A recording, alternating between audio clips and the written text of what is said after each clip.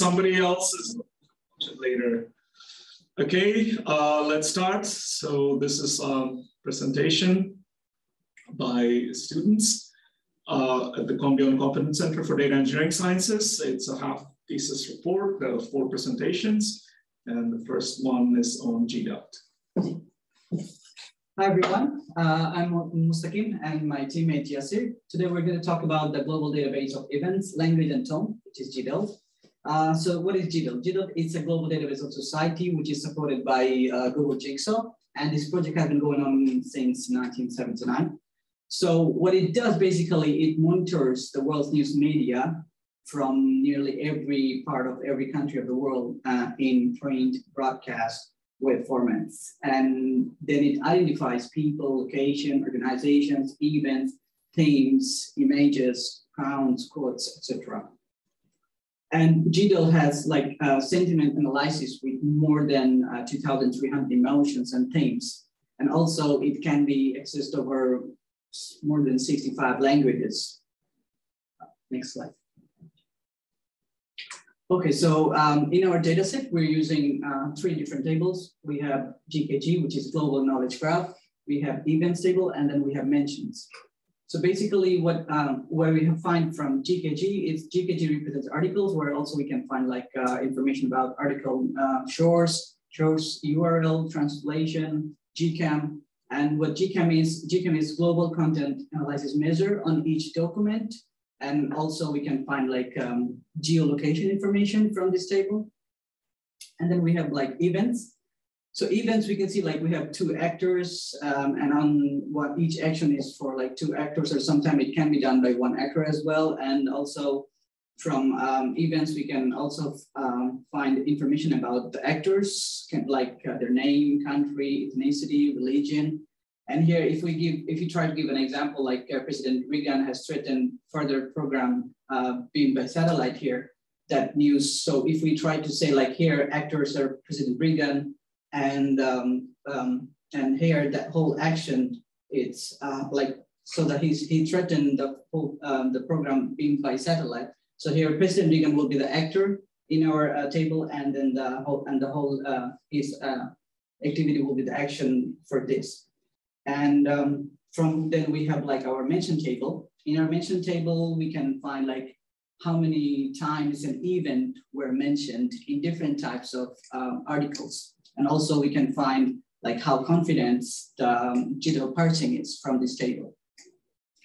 Uh, next slide, please. Yeah. Okay, and GDELT uses the CAMEO codes to represent information for actors and actions.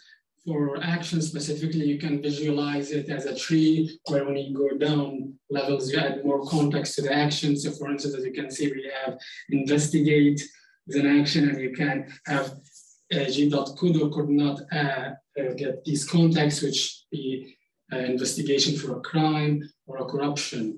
And for and for our experiments, we only included the Swedish media, in other words, all the documents that's in Swedish and all the events that's happening in Sweden for 2021. We also included only the actions that have a Goldstein score below zero. The Goldstein score uh, is the representation of how the theoretical impact of an action in, in the society. So for instance, the previous example of the threatening would have a negative score, uh, where on the other side, uh, like let's say Swedish uh, winning the Olympics would have a positive score. And here you will see a tree map of um, the taxonomy of the actions. So here, I say we have a, how many uh, times um, an event for invest investigation or fight has been mentioned. And for tone, and the color represents the tone, as in um, how impactful the, the text was, emotionally impactful. And, uh, and this one is for the time series for all the uh, events in Sweden. And in the blue, you see the number of mentions for um, the actions that we were that we already talked about, and uh, in, the, in the red, the average uh, Gold, Goldstein score. And lastly but not least, we represent these action, these uh, actions in a, a geomap where the, the size of the bubble represents how many times this location was mentioned, and the color represents the average Gold, Goldstein score. And uh, as you can see, Stockholm and Gothenburg seems to have the most uh, pop popularity during this year. And with this, we end our presentation. Okay, so uh, let's have the next uh, next team. Yes, I'll face this way since these guys already know what I'm doing. Um, so I have, uh, for my fellowship, I've dabbled with some uh, sentiment analysis using lexicons. Next slide, slide please. This is Matthias Min. Yeah, this is Matthias Minaller. So yeah, uh, so yeah, we have next slide. Yes, good. Uh, so, um, so what is sentiment analysis? Just to, for for those of you who don't know, uh, well, uh, you can say that it's a way of mining some emotion from a text. Um, I did this on tweets. So uh, in, in, my case, it was simply tweets that, that we mine emotions from. And why is this useful then? Well, uh, let's say you're a company and you release a product and you want to know how the product is received from, from your, your customers. Then maybe you can run some sentiment analysis on tweets uh, to see what people think of the product. Uh, so yes, uh, next slide, please. Good. Uh, so uh, I'm just gonna uh, walk you through uh, a bit of what I've done so far. Um, um, so these are the three points that I will, I will go through, and the first two will be quite brief. Next slide, please. So uh, in the start of any any data science project, you need data, and for me, it was already already um, um fetched and processed and stuff like that in a nice Delta Lake which I got access to. So I didn't have to do anything on streaming or anything like that, which was nice for me, uh, simple. Uh, but uh, and and the tweets uh, which I got to use for tweets uh, related to different companies. Um, but uh, you can use any any text or tweet if you want to. so yeah, next slide. Uh, so, uh, uh, but I still had to do some type of pre-processing because tweets are very, very casual texts and you still need to like remove uh, hashtags and, and the different type of signs and stuff like that. And, and uh, uh, maybe some stop word removal because there's a lot of like text which are not in these lexicons which I used, which I will talk about now.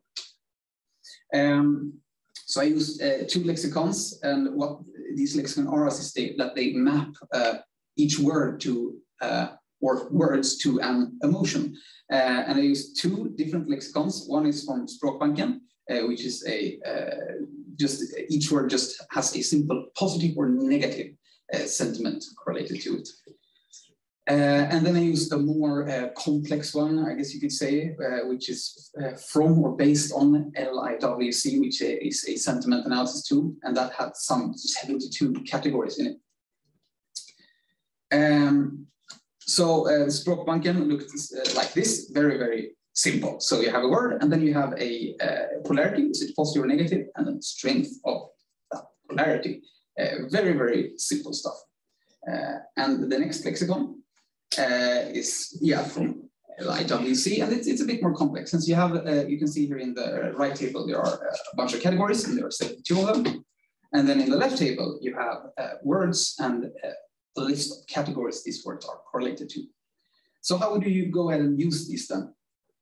Uh, well, uh, the procedure is quite simple. Uh, you break the text into just word chunks, and then you get a sentiment for each word, and then you try to average uh, each of these words based on the text. And this is the very, very simple one. Uh, it's a very, very simple workflow uh, for each tweet. Um, but you could do this as, at a larger, larger scale as well if you collect tweets into corpuses and stuff like that. Uh, but and I wanted to have some some form of um, uh, visualization to show you, but I didn't quite get there. So I borrowed this from CoSense, which is a the project which this project is based upon. Uh, so so here is you get an idea of, of, of what you could do with, with, sentiment analysis. So here you have a, a, a couple of these uh, types of categories uh, which you could find in LIWC. Uh, and these are related to disease. And then you can see here, like each day, how people tweeted to uh, tweeted about, uh, or, or how, how different tweets during a day related to uh, some one of these categories. So that is what I have to show. Thank you. Yeah, and a quick plug. Although we've done very elementary uh, lexicon-based analysis, uh, if you have a hundred parameter model GPT-3 further trained with the Swedish Språkbanken using the Berzelius supercomputer, it's simply a different transform one can add to this. Yep. Okay. Uh, hello, everybody. I'm Stavroula Failure, and me and my teammate Virginia over here, we're gonna talk about bivariate trend calculus and causal inference, inference using the library pathogen.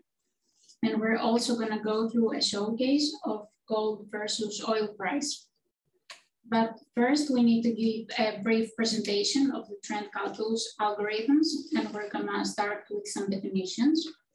So formally, a trend is defined as rising if it has higher highs and higher lows, and falling if it has lower highs and lower lows. We can also quantify this definition by assigning the values plus one and minus one for rising and falling trends respectively. So here in this slide, you can uh, see what we mean with these higher highs and higher lows. So the basic steps of uh, the algorithm are as follows. First, you want to stream the data across a fixed window size. And then for each of these windows, you want to identify a dated high and low. Then a summary is uh, arrive, arrives for each window based on the occurrence of the, light, the low and the high. And then lastly, we compare the summary of the current window to the previous one. The next step is to assign a sign for each window, and we do that by using the trend calculus equations in here. So given this equation, we assign a sign for each window. So naturally, we come to the definition of a reversal point, which is a point on the previous window where the trend values flip. So in order to identify these points, we're using uh, two rules. Basically, if the trend moves from rising to falling, the reversal is the previous high, and for the other way around, the reversal is the previous low. And here's a simple example that you can see that. So now the output of the algorithm is a new time series that includes just the reversal point. So now we can use this time series of trend change points iteratively in order to establish long-term trends of streams. This uh, algorithm is very efficient due to the data reduction that uh, is being done in every iteration. And uh, we're gonna go through a showcase now. Uh, generally speaking, uh, oil is uh, considered by the scientific community and specifically in the economic journal. It was published that oil prices can lead to inflation. At the same time, gold has been the most effective uh, safe haven in most countries, and by investors, it is used again as a hedge against inflation. So the natural question that arises is if a change in oil price can be a predictor of changing gold. Although the, over the long term, gold prices tend to move up and down in tandem with oil prices. So here we have a visualization of the two, the two time series.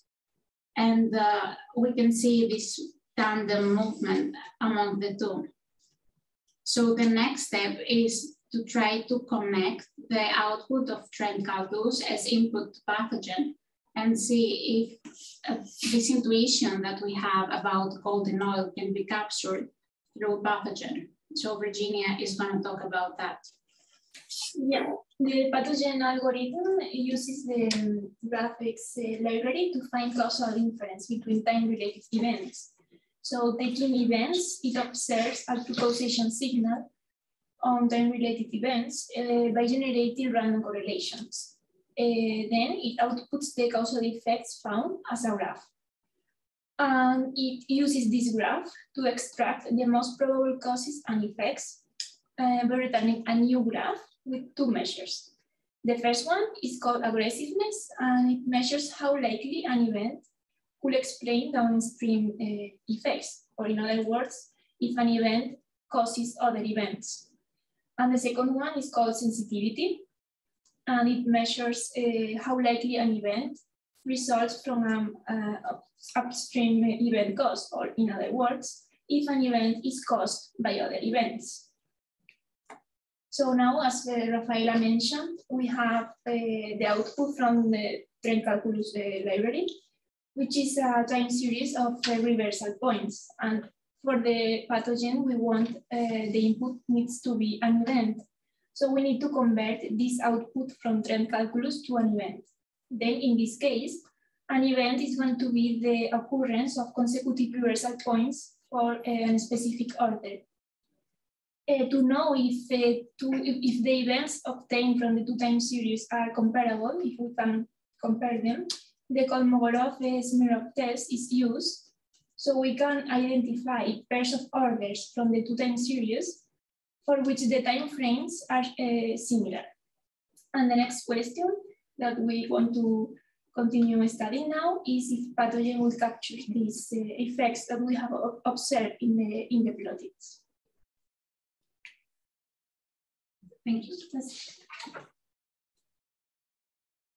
Um, I guess I should qualify that if you want to understand uh, what pathogen is, uh, and uh, it's, it's actually live research, so you're welcome to, to help us go understand this. Uh, you can start by watching Antoine's video from, uh, was it four weeks ago? Yeah. And then uh, the follow video. Um, so basically the reason we jumped on this instead of starting with a mathematical model is to actually take a model that won a big data championship because it, it uses scalable uh, uh, algorithms so that we can actually take take you know time series up to even second level resolution of financial trends of thousands of time series potentially and then have a formal way of possibly understanding cause and effect. Um, so let us move to the next speaker Okay, good afternoon, everyone. My name is and today I'm going to present my project in the topic of lock-in free. Actually, we start this project with a notion that there is a problem called vendor lock-in in the data science industry. By the term vendor lock-in, it just simply means a situation where users are too dependent on single specific vendors. For example, in the data science industry, some students, some scientists may have a chance to work just only on some notebook platform like Databricks and on AWS or on just only on GCP. And they just have a chance to work on that and they keep building things up over there. They keep adding more functions and features, data sets, and generate the, the result out of it. And after for a while, they might need to migrate things from one platform to the other platform. And they might find it hard to do that. It is because um, there might be some technical incompatibilities or some illegal issues, or it just simply is like um, some features and functions are native to just only on AWS or Databricks, so it cannot run somewhere else. So in order to tackle this vendor lock-in problem, we need to have some kind of infrastructures that we call lock-in free. And we need two things in these infrastructures. The first one, we need to have a tool to convert notebook between different formats. And the second things that we need to have is the multi-cloud providers like AWS, GCP, Microsoft Azure, and in order to achieve this, we will take this approach, infrastructure as code or IAC. And we use Terraform in order to achieve the IAC things. And as the name suggests, infrastructure as code. That means we just simply define anything we want in the infrastructures like um, many instances that we need, the type of the instances, type of the uh, the, the, the storage, SSD or magnetic, and how much do we need, the security group, firewall, routing table, services, applications, everything that we need in a code. And it's just simply like a text, right? Code is a text. So it is simply like that. And when we have a Terraform code, the users or scientists or students who want to work on AWS or GCP, the only thing that they have to do is that they just run just a, a few commands like Terraform, init, plan, and apply to trigger this code to run. And this code will just initialize everything on AWS or on GCP for us. And in some use cases, like some students may have a free credits on AWS and some free credits on GCP too.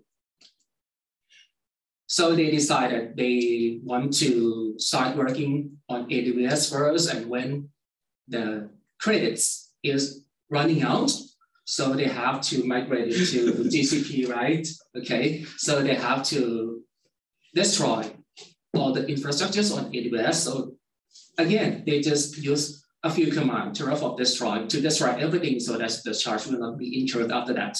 And then again, they just use a few commands to run the code to initialize all the infrastructures on the GCP. And so they can continue doing their homework problems. yeah, yeah, yeah. nice. That's right. Yes. Okay. And what we have right now is that we have the the tool to convert notebooks between different formats, and we have a Terraform code to implement the infrastructures on AWS and GCP.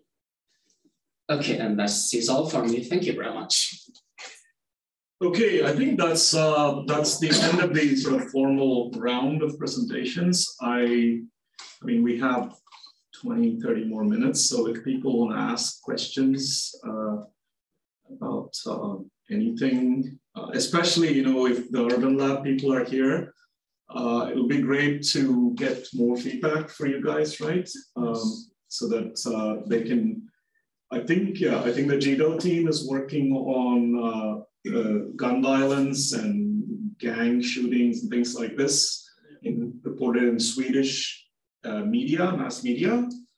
And, uh, you know, so they can actually provide the output from their project so that it may be useful for the urban lab researchers. Um, so there, I think uh, it'll be great to get some feedback and, and more generally, any, any other feedback as well.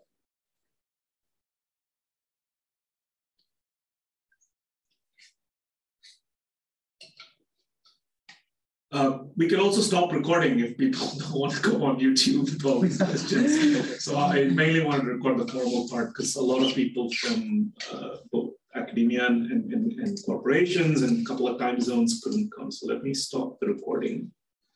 Um,